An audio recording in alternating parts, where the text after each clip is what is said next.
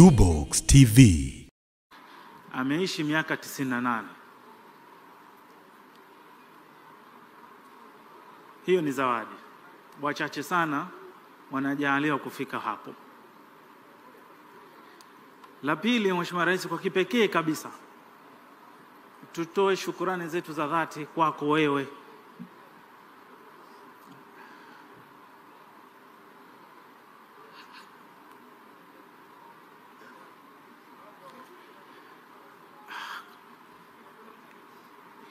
kwani umekuwa karibu sana nasi toka kipindi mzee anaanza kuumwa. Sisi tulibahatika, mzee wetu, maisha yangu yote sikuwahi kumwona marehemu kuumwa. Kipindi cha miaka hii miwili ndo kwa mara ya kwanza sisi tumemwona mzee wetu anaumwa. Kwa hakika ameishi maisha ya baraka kubwa sana. Mwenyezi Mungu amemjalia sana.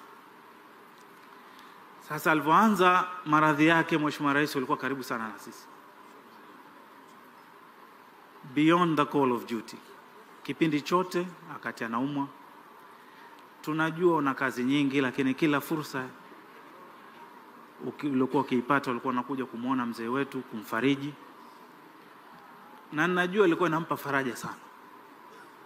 Mara ya mwisho ulivyokuja alilia,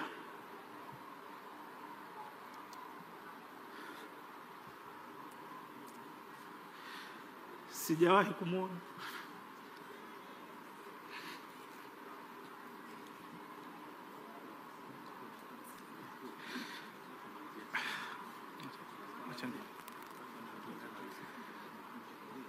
Pili, lazima tuwashukuru serikali kwa ujumla, kamati zote mbili,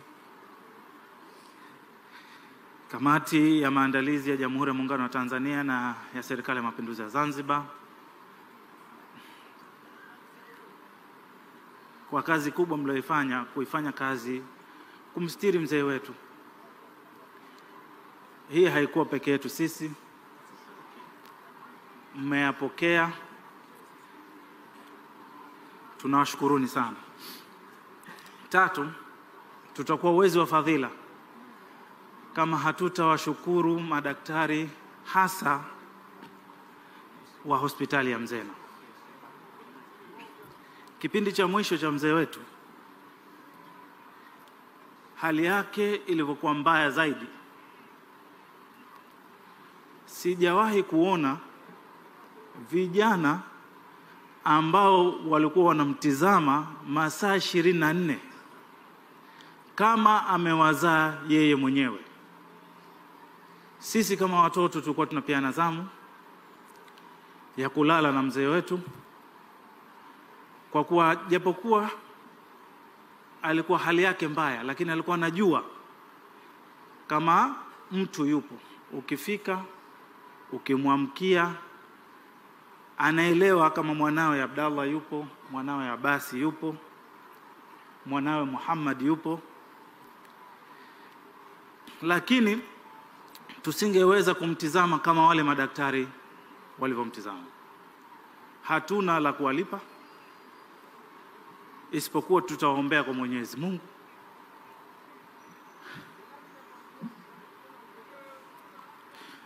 wema waliotufanyia Mwenyezi Mungu atawalipa maradufu. Kwa hayo niliyosema, narudia tena, asanteni sana.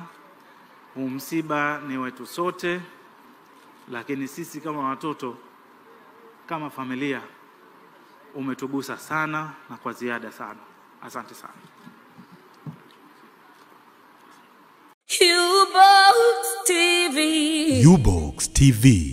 We empower the future.